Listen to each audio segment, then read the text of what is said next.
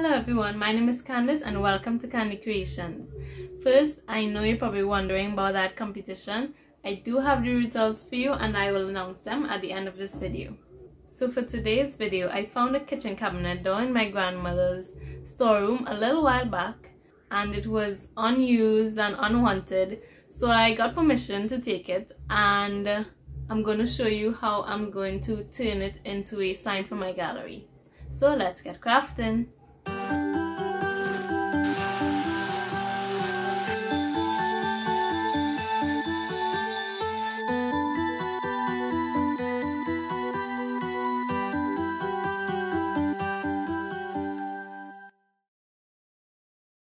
So this is the cabinet door that I picked up.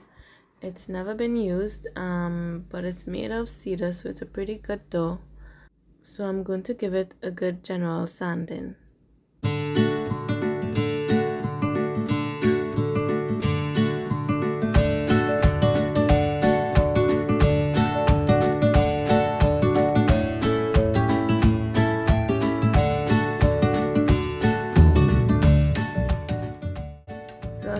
See the door has um, a bit of a water stain at the bottom here.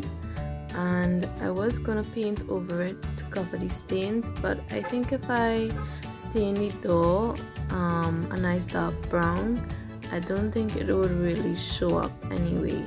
And if I'm gonna put plants at the bottom you wouldn't see it really.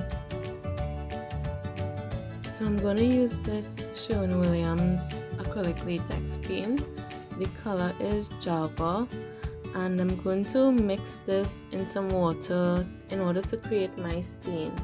Now the brown is a bit lighter than what I wanted for this door so I'm gonna add some black to that and that should darken the brown.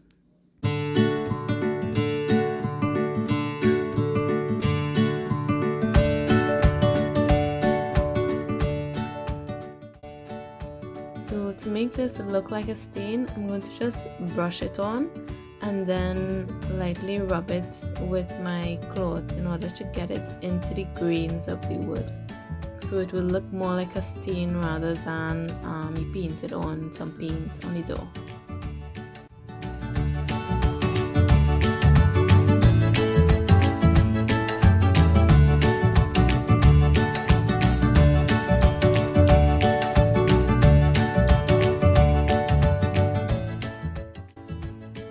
Door dried, I still found that it was a bit light for what I had in mind.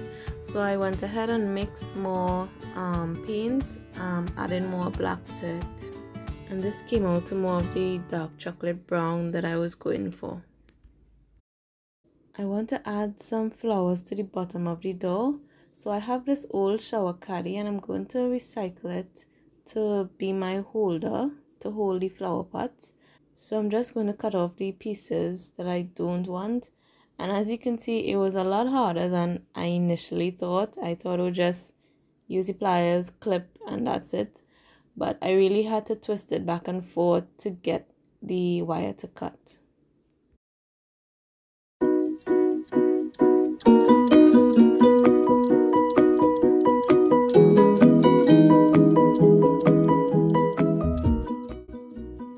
This is one of those shower caddies with the plastic lining on it and some of it already started to flake off and I didn't want when I painted that you see the bumpy finish so I tried to scrape off as much of that plastic lining as I could possibly do and it was taking a lot longer than I thought it would. I thought because it was already flaking off it would just come off easy but I really had to use the scissors to scrape a good bit of it off. And after a while, I just decided to just do the front of it because it would take me forever to get all of this off. Next, I proceeded to give it a light sanding to get any rust spots off. And then I used some white spray paint and just sprayed the whole thing.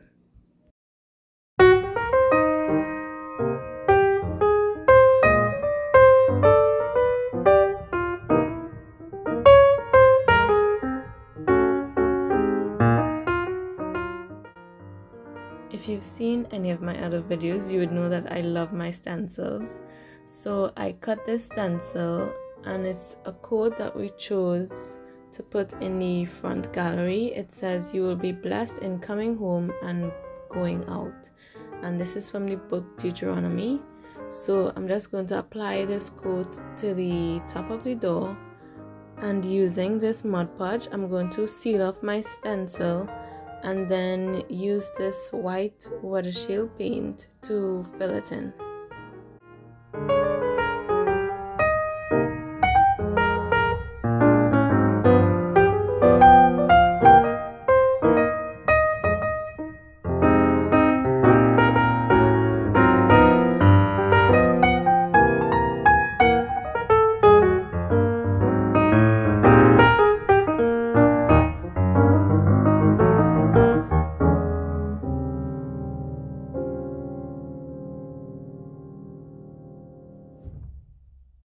My words are now dry and to seal off the door I'm going to use Penta's polyurethane clear varnish and it's in the satin finish so I'm just going to give the whole door back and front one coat because it's not really going to be outside in the weather so I think one coat should be fine.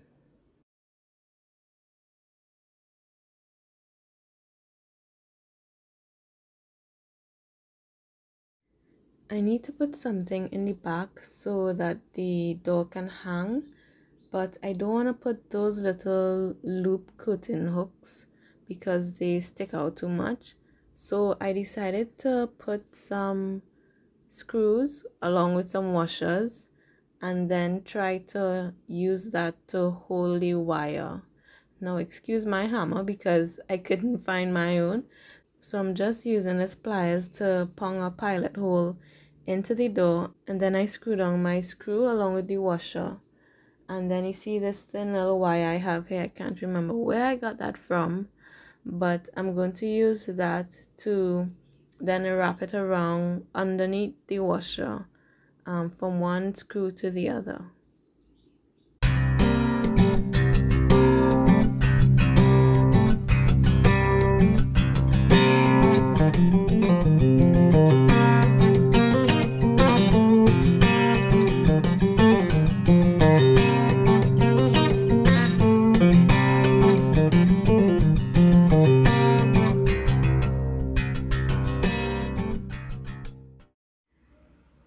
wanted to make the cabinet door look like an actual cabinet door so I went ahead and drill a hole and I found this cute little ornate um, knob and I went ahead and screwed that in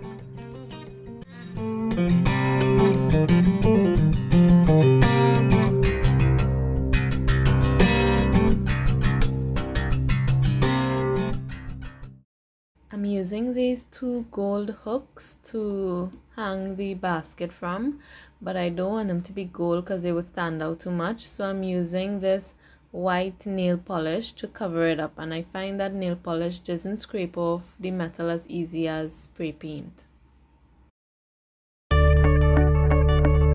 I have these two flower pots that I'm going to use for my basket and I'm just going to use this gesso and I learned this method on YouTube where you add baking soda to give it a nice texture, almost like a terracotta pot. So I mix that in with my gesso.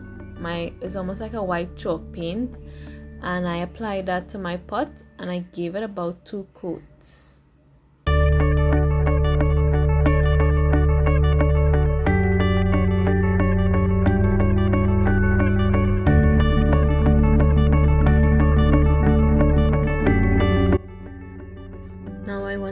Add some character to the pots so um, again I'm using my gesso and I'm gonna mix that with some blue and black and I'm just going to randomly dry brush that all around the pot.